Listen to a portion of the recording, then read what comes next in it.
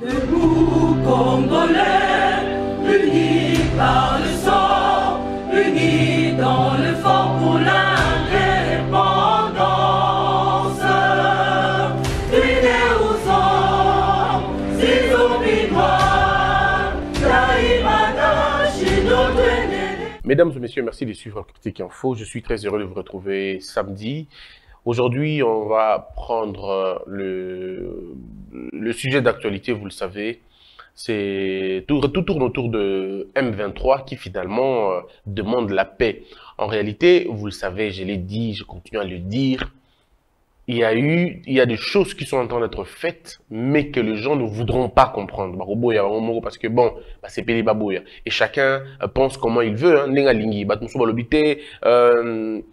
Congo azolu grâce à la kimia, na Rwanda, batmusu balobite, Congo azolu grâce à la boye, les, autres. Mais les faits sur terrain prouvent que nos militaires FRDC prennent beaucoup, mais alors beaucoup de terrain.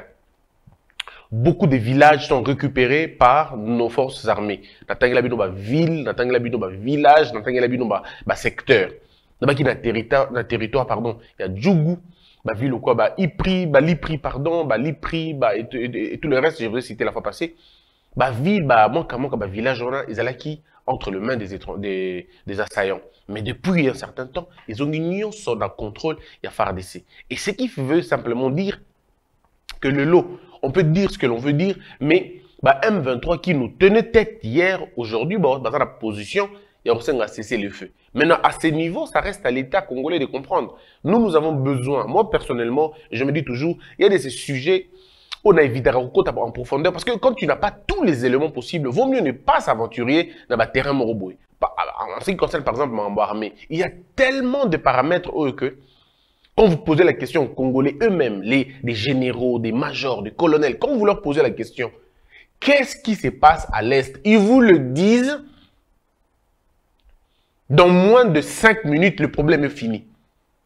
Quand je dis le problème est fini, ça veut dire qu'ils vous expliquent le problème. C'est-à-dire au moment que ah, tu rencontres un colonel, tu rencontres un général, même un lieutenant, il t'explique en 5 minutes, minimum 5 minutes, il te dit, voici le problème. Donc, en principe, nous avons déjà, on va dire, une gibecière de, de solutions, mais que nous n'arrivons pas à appliquer compte tenu d'un contexte ou d'un autre. Il est où les véritables problèmes?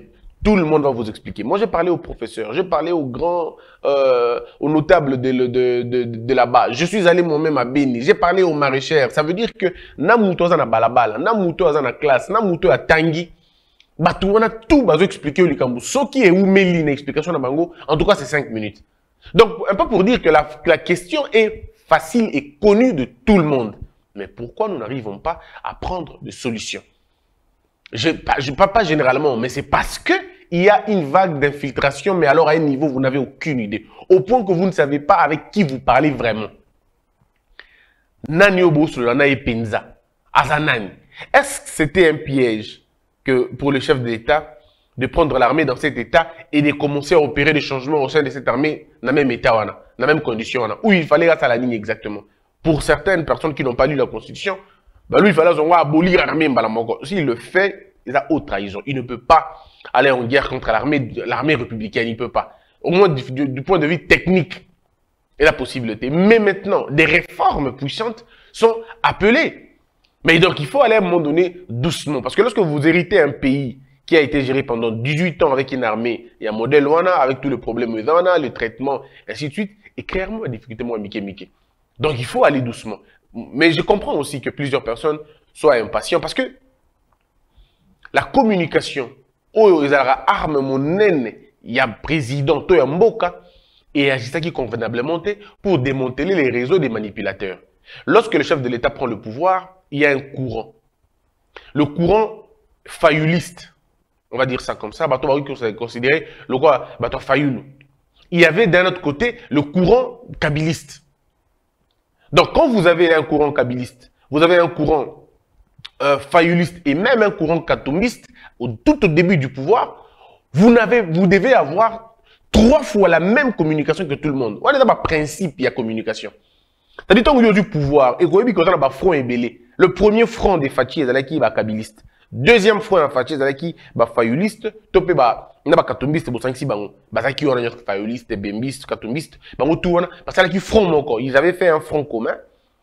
Et vous avez de l'autre côté le FCC qui était d'un côté naïe et vous avez un Tshisekedi seul. Alors quand vous avez un Tshisekedi seul, sa capacité à gagner, ça veut dire quoi? Ça dit une chose, ce qui deux personnes, deux groupes, yango, il est possible que la population mette un peu de doute dans Obino. Donc ça veut dire que ce que il faut amplifier en 3, 4, 5 fois dans le canaux de communication pour ça là égal na bateau ba va contredire yo. Tout en sachant que Côté à communication, Katumbi est très fort, personne ne peut lui contester ça. Fayoulou n'est pas très fort en communication, tout le monde le sait, et Kabila est très fort en communication.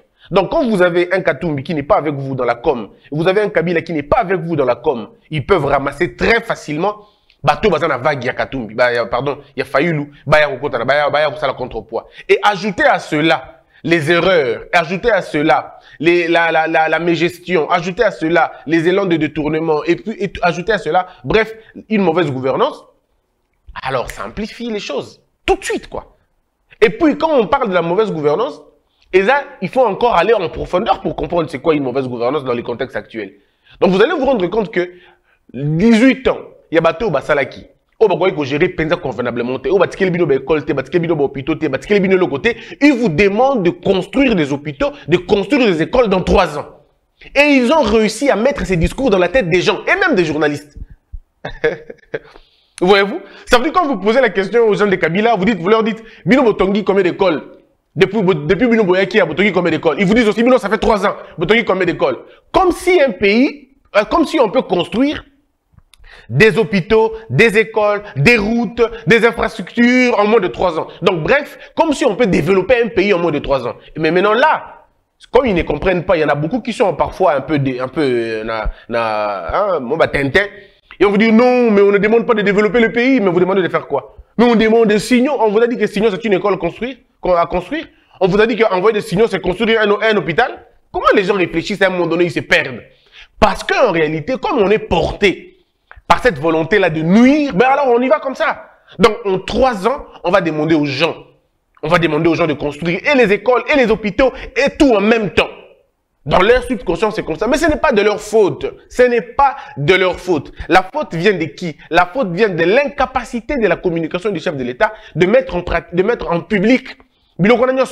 Qu'est-ce que nous, nous n'avons pas proposé? Qu'est-ce que nous n'avons pas proposé? Nambokaoui Nous avons tout proposé des campagnes publicitaires. On a tout proposé. On a demandé aux gens, voilà ce que vous pouvez faire pour communiquer. Beaucoup qui vont tenir la communication, c'est ceux qui besoin de la réaction. Beaucoup qui te, bako beli sa président, bako bimisele ba bulletin, ba bulletin, bako bimisele ba scandale la famille, ils vont le faire parce que eux ont la capacité de le faire et vous, vous n'avez aucune capacité à dévancer ma cambo, à anticiper. Tous les scandales qui touchent le chef et touchent Akaï directement, en plein cœur, parce qu'il n'a pas de barrage. Christian Bossembe, s'il défend le chef de l'État ou s'il a une opinion qui va dans le sens d'encourager les actions du chef de l'État ou du président de la République, mais je ne suis pas de la présidence, dans service de communication. Hein. Donc je ne suis pas tenu véritablement à vous dire, voilà, le chef de l'État a fait ça en janvier, en février. Non, ce n'est pas mon boulot. À un moment donné, il ne faut pas qu'on se perde la tête. C'est pas mon boulot. C'est le boulot des gens de la com du président. Bango ne faut pas ça là-bas, ni n'a pas de détails précis. Donc quand quelqu'un me pose une question pareille, mais à un moment donné, on doit être malade. Et quand certaines personnes ont le temps d'analyser, oh non, on écoute tout on m'a envoyé une vidéo hier, mais ça m'a fait rire à mort.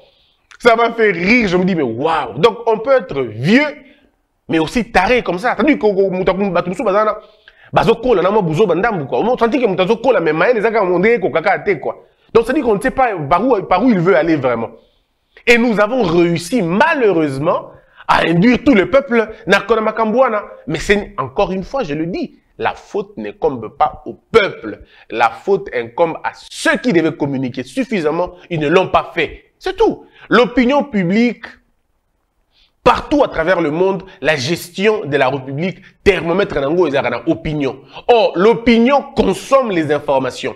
Quand les fausses informations viennent avant les vraies, il y a un problème. Vous aurez du mal à déboussoler la fausse information dans la tête des gens. Parce que dans la nature humaine, lorsque les gens n'ont pas suffisamment étudié et qui n'ont pas eu la facilité ou l'avantage de faire des bonnes écoles et qui n'ont pas la capacité de cerner le problème, on peut les manipuler quand on veut, comme, comme on veut.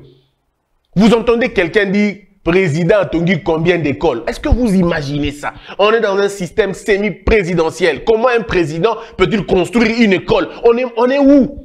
Mais il est à l'aise, hein? Président Tongi, combien d'écoles? Président Tongi, combien de, de, de, d'hôpitaux? Tongi, combien de balabala? Ce n'est pas lui qui construit, c'est son administration, monsieur. À la télé, on ne le dit pas. Moi, quand je pose des questions à ceux qui ont dirigé 18 ans, je leur pose toujours des questions. Qu'avez-vous? Qu'avez-vous? Je n'ai jamais dit Kabila construit quoi. J'ai dit qu'avez-vous? Administration d'Abino et Sali Nini Voilà la question qu'on pose aux gens. Voilà comment on peut réfléchir. Mais quand quelqu'un commence à dire, euh, mais, mais, mais, Fatia Tongib, Fatia Tongib, et puis il dit dans la communication. Il n'y a pas de communication dedans. Ici, c'est une question de gouvernance. Les Maliens parlent français, ils nous suivent. Les Ivoiriens parlent français, ils nous suivent. Arrêtez d'être ridicule à la télé. Finalement, les gens vont vous dire, mais ce gars-là, qu'est-ce qu'il raconte? Il raconte de quoi il parle finalement? Depuis quand un président construit une école? Mais si tu lui poses la question, Macron a construit combien d'écoles? Ah, les débats changent. Non, non, c'est pas Macron. C'est pas Macron qui construit l'école quand même là. Non, c'est pas Macron. Hein. C'est alors, attendez, on a le même système politique. Qu'est-ce que tu penses? Le problème, c'est que on pose la question qu'est-ce que le gouvernement a déjà créé? Est-ce que votre gouvernement a construit des écoles? Est-ce que votre gouvernement a réhabilité des écoles? Est-ce que votre gouvernement a réhabilité ceci? Est-ce que votre gouvernement a construit des routes? Ainsi de suite. La responsabilité du président de la République est établie quand il ne vire pas ceux qui font mal leur boulot. C'est ça la responsabilité du président de la République. Et ça, il faut le dire, on ne se le cache pas. Mais comment faut-il le dire? Pour qu'ils comprennent enfin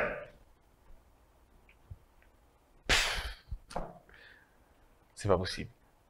Donc, à un moment donné, il faudrait que les gens arrivent à comprendre que le débat autour de ça, la psycho, on risque de perdre encore 20 ans, 30 ans dans ce faux débat. Tout simplement pourquoi? Parce que dans mon pays, malheureusement, le plus grand problème de mon pays, c'est que et les idiots et les intellectuels, parfois ils réfléchissent de la même manière. Et c'est bizarre quand même, hein C'est bizarre. On va revenir sur les études. Les études ont fait, les études ont fait, les études ont fait. Vous qui avez eu à faire des belles études ou des grandes études, que produisez-vous concrètement? Parce qu'il faudrait à un moment donné qu'on en parle. études, études par-ci, études par-là, études par... Et puis il y a des gens qui disent non, eh, mais, non, mais parce que les gens ne sont pas sérieux quand même. Ils disent non, on a goûté école à Mickey Mickey. Il n'y a pas d'école à Mickey Mickey. Ce que les gens devraient comprendre, vous êtes tellement complexé dans votre tête qu'il faut avoir fait l'université pour être intellectuel. Et les gens sont tellement dans ça, mais à un moment donné, je me dis, ben, ben ça sert à quoi? Ça sert à quoi ait des pilulés, bla bla bla bla bla, autour des questions inutiles, autour des questions pratiquement bêtes. Les questions cruciales d'un État, les questions cruciales d'une république, c'est comment elle est gérée. Comment cette république est gérée, bien ou mauvais. Si bien, c'est quoi être, eh, c'est quoi bien gérer l'État? Bien gérer l'État, tout le monde le sait, c'est de faire respecter les textes dans cet État-là. Bien gérer l'État, c'est de rendre la justice distributive pour tout le monde. Bien gérer l'État, c'est de, maîtriser les balances de l'équilibre et de la justice. Bien gérer un État, c'est d'offrir à tous les citoyens les opportunités, sans distinction des sexes, des races et de peau. C'est ça bien gérer un État c'est avoir des, une forte administration, c'est avoir des grandes, des bonnes et fortes institutions, c'est où l'homme est en, dessous, pratiquement vient après les institutions. C'est ça bien gérer l'État. La, la, bonne gouvernance, c'est la transparence, c'est savoir payer convenablement les, les, les, les travailleurs, se donner de l'emploi aux gens, créer des cadres pour créer de l'emploi. C'est ça la bonne gouvernance. Savoir convenablement faire la rédévabilité, placer des bonnes personnes aux bons endroits, faire la méritocratie. Voici ce qu'on appelle une bonne gouvernance. Mais vous, les débats sur la bonne gouvernance, est à la gâter. Le débat sur comment bien gérer l'État, est à la gâter. Vous êtes dans les débats inutiles. Et c'est des débats comme ça. Et les gens, et puis malheureusement, quand vous allez cliquer dans ces choses-là, vous trouvez comme ça 70 000 vues. 80 000 vues. Ça veut dire qu'il y a des gens qui sont allés s'abreuver inutilement. Mesdames et messieurs, au Congo, il y a plusieurs façons de s'abrutir.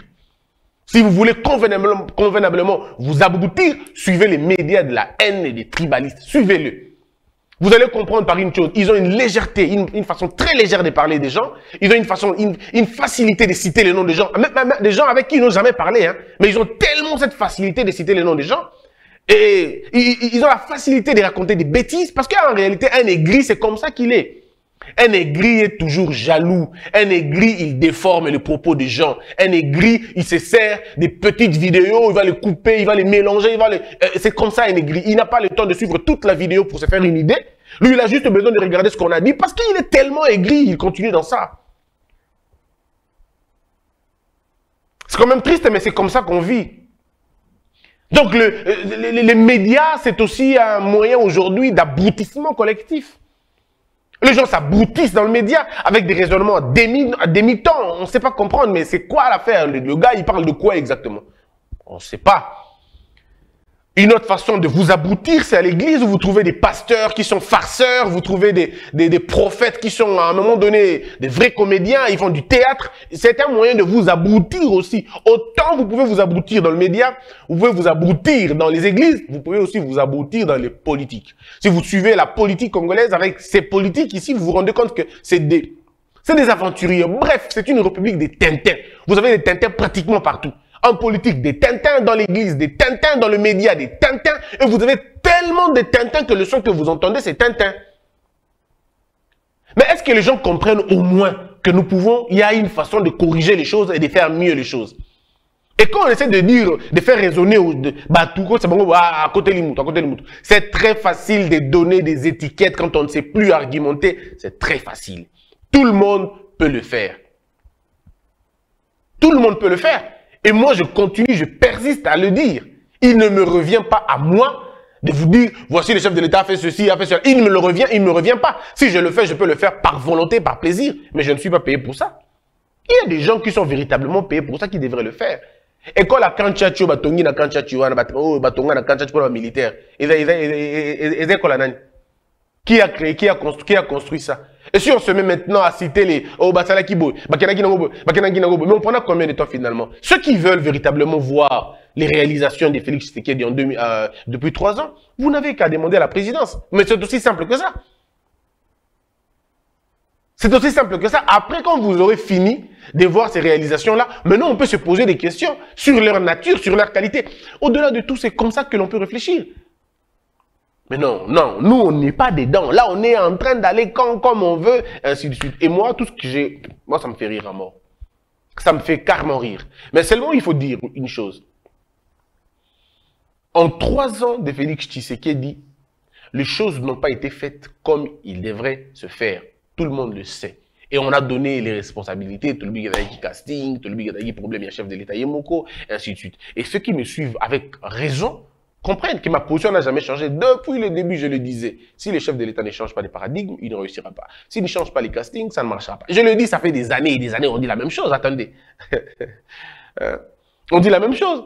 Je vous avais dit il n'y a pas longtemps que, certains ministres vont tomber. Je vous avais dit, bah, combien de fois vous voulez qu'on vous dise des choses? Je vous avais dit que des ministres vont tomber. Et je vous dis encore, un autre ministre va tomber. Il y aura encore une véritable fissure au sein de l'Union sacrée Brouillot, Kangou, Sakanate. Il y en aura. Mais notre, notre, notre, notre niveau, notre façon à nous de voir les choses, notre responsabilité, c'est de vous dire, voici Salema qui boue, boue, boue, boue, boue. Et puis les restes, bon, vous allez euh, comprendre comme vous voulez.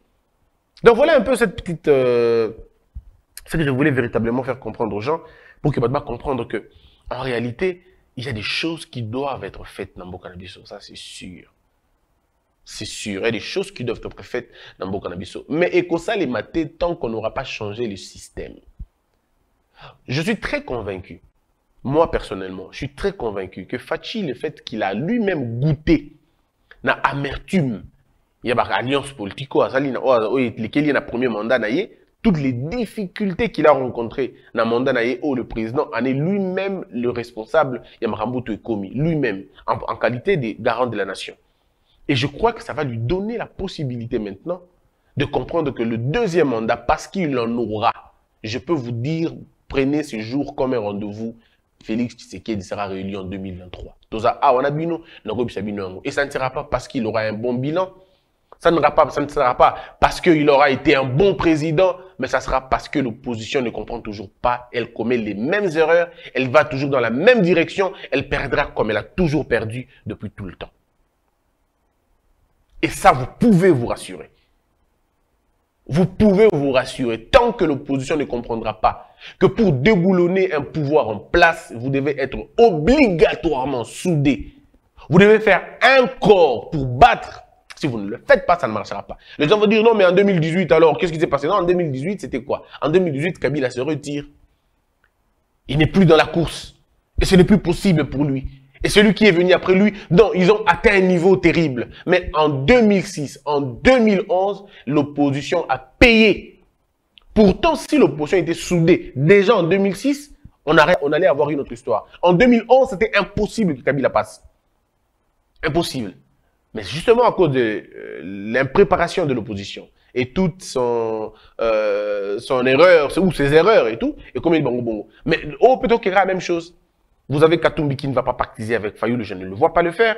Vous avez Fayoulou qui ne voudra pas être avec Katumbi, je ne vois pas comment il va le faire. Vous avez Kabila qui ne voudra pas soutenir les autres, là, je ne vois pas comment ça va se passer. Et je me dis comment ils vont remporter les élections, ça ne sera pas possible. Pas du tout, encore qu'il n'y aura pas de deuxième tour. Donc, c'est difficile vous battre. C'est difficile. Bon, il y a tourment, et c'est là que vous perdrez. Et ça, je peux vous dire, je n'ai même pas besoin d'être prophète. Non, je répète pour que vous pas comprendre. Félix, euh, Félix Tshisekedi, en 2023, remportera ces élections. Pourquoi? Parce qu'il n'y aura pas consensus au sein de l'opposition. Katumbi ne va pas accompagner Fayoulou, Fayoulou ne va pas accompagner Katumbi. Bemba sera avec, Fachi, euh, euh, c'est sûr. Kabila ne voudra pas accompagner ni Katumbi, surtout pas, moins encore Fayoulou. Donc, ils on aura finalement trois grandes têtes. Et là, si seulement Fayoulou et Mouzut restent ensemble. Donc on aura au moins trois grandes dettes. Donc on aura un gâteau que l'on va devoir partager par quatre. Fachi passera même avec 16%. Il passera même avec 20%. Il passera encore que le premier tour. Ça veut dire Ato passer à 12% au gagner nos Donc il suffit que Goto Fachi a aligné Yemoko. Ici, on est en politique, on n'est pas dans la science, on n'est pas dans la, dans la raison, on n'est pas dans, je dis, on est en politique, on n'est pas dans, dans oh, la charité, le bon on n'est pas dedans, on est dans des calculs politiques. Et quand on fait des calculs politiques, parfois on le fait. Donc voilà. On peut, ils peuvent aller aux élections. Prenons les favoris de l'opposition. Prenons ça comme ça. Katumbi est les favoris, hein, estimons. Ou Katumbi ou bien Fayoulou. Mettons ça comme ça. Les deux favoris. Et Fachi est de l'autre côté. Et vous avez Kabila vous avez Fayoulou, vous avez Kabila et tout le reste. Donc, ils vont aller aux élections comme ça. Alors, supposons que Fachi, non, non, Katoum a eu 16%. Oumsou pas sûr 8%. Oumsou a eu 12%. Mais Fachi a eu 17%. Il est président de la République le soir, le soir après. Président de la République. Même avec 17%, il peut être président. Le système dans lequel on nous a mis, dans le, système dans lequel monsieur, en fait, l'administration Kabila nous a mis, c'est ça, en fait. Ces gens nous ont mis dans une situation où nous ne pouvons pas aller plus loin que ça. On est dedans, on est de plein pied dans le premier tour. Ils avaient éliminé le deuxième tour. Or, est dans le deuxième tour, alors Fachi allait avoir des sérieux problèmes. Mais alors des sérieux problèmes. Deuxième tour, ça allait dire Fayulu, Nanani, une contrainte des circonstances. Ils allaient devoir se mettre ensemble pour choisir un candidat. Obligatoirement. Ils allaient se mettre ensemble. On va se mettre ensemble. Et en ce moment-là, Fachi allait avoir des problèmes. Mais comme il n'y aura pas deuxième tour, il n'y aura qu'un seul tour, le président peut être président même avec 16%. Il peut être président même avec 3%. Ce qui va tout, tout, c'est fini. Donc, ce qui coûte Fachi a aligné PO a tout, a aligné PO opposant naïe.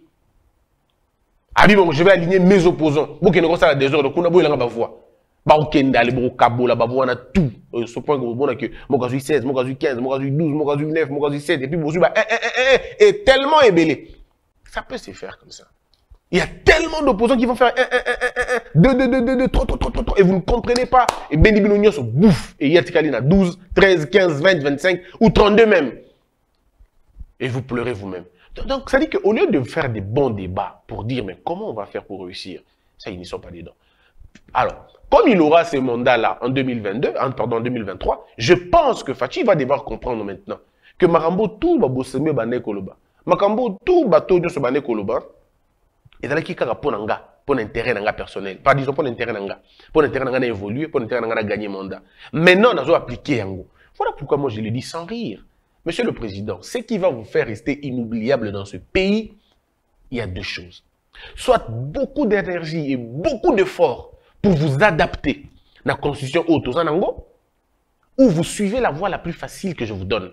La voie la plus facile, c'est la révision. Non, pas la révision, c'est l'instauration d'une nouvelle république. Il est important de le faire maintenant. Mais vous n'allez pas le faire pendant ce moment parce que là, c'est suspect.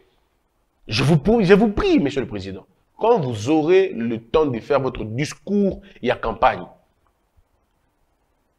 on aura, quand on, arrivera à ce moment-là, on va dire, encore beaucoup de choses. Mais, pour l'instant, dites aux Congolais que le système dans lequel on évolue ne nous convient pas. Il nous faut un système présidentiel. Maintenant, ça dépend. Demandez au professeur Jacques Njoli, demandez au professeur Mbata, demandez au professeur Essambo, à tous les grands constitutionnalistes de notre pays. Posez-leur la question. Quel type de présidentiel nous voulons? Est-ce concentré? Est-ce déconcentré? Quel type de régime présidentiel nous voulons? Parce qu'on peut le faire. Et les savants de notre constitution peuvent vous dire, Monsieur le Président, nous estimons que le système euh, présidentiel concentré va aller mieux. Mais quels sont les mécanismes de protéger pour qu'on ne tombe pas dans la dictature? Voici ce que va faire. Voici les mécanismes. Voici, voici, voici, voici, voici. Nous en sommes aujourd'hui, je peux le dire, le dire sans rire. Je suis les précurseurs de la quatrième république. J'en parle avec beaucoup de fierté. Je le dis et je continue à le dire. C'est le seul moyen qui, puisse nous sortir du bourbier dans lequel on est. Il faut un nouveau système. Que M. Fayoulou, que M. Katumbi, que M. Kabila, les- tous ces candidats à la présidentielle vont adopter système au sans honte. Dites ça aux Congolais, nous devons changer le système politique. Parce que si, par malheur, Fachi n'arrive pas à atteindre ce Azu Angote, Azu pouvoir en 2023, ce qui est euh, impensable, mais supposons que c'est la bongo, et que Fayoulou est Azu pouvoir. Le président Fayoulou, une fois qu'il est au pouvoir en 2023 et qu'il a la possibilité de changer cette constitution, il restera éternellement dans la mémoire collective. Les gens se souviendront qu'il y a eu un homme qui a changé un système avec sa façon de faire. Parce que notre constitution n'a pas seulement besoin d'être respectée. On peut la respecter, mais elle nous produira les mêmes problèmes.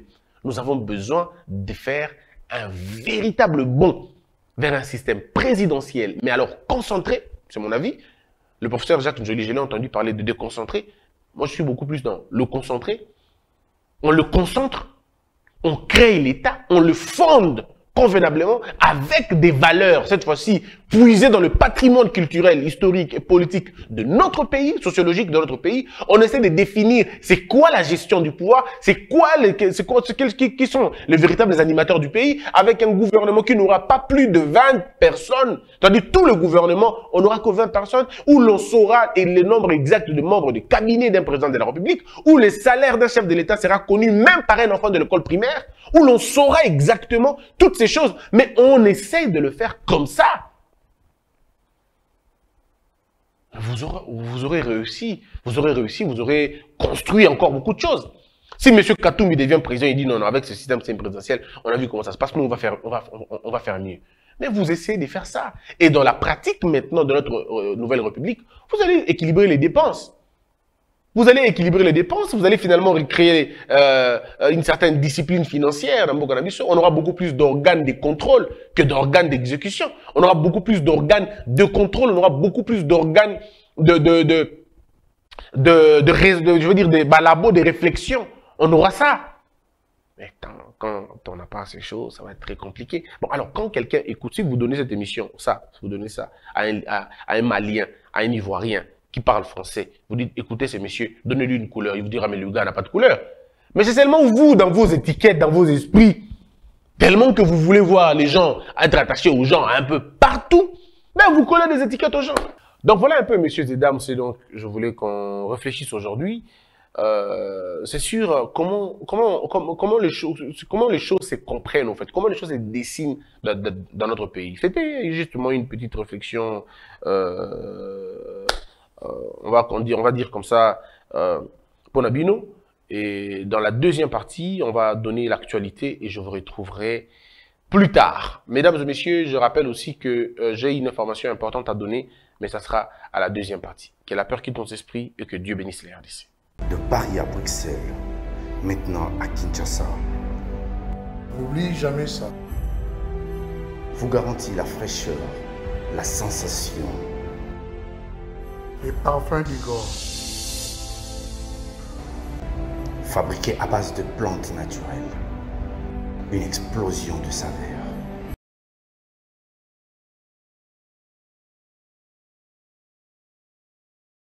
France, contactez-nous au plus 33 78 30 57 14.